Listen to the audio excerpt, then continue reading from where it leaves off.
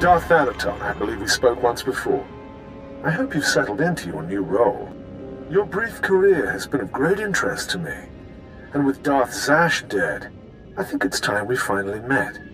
If you'll be taking up Zash's work, we have much to discuss. Meet me at the tomb of Darth Andeddu, outside Kaas City.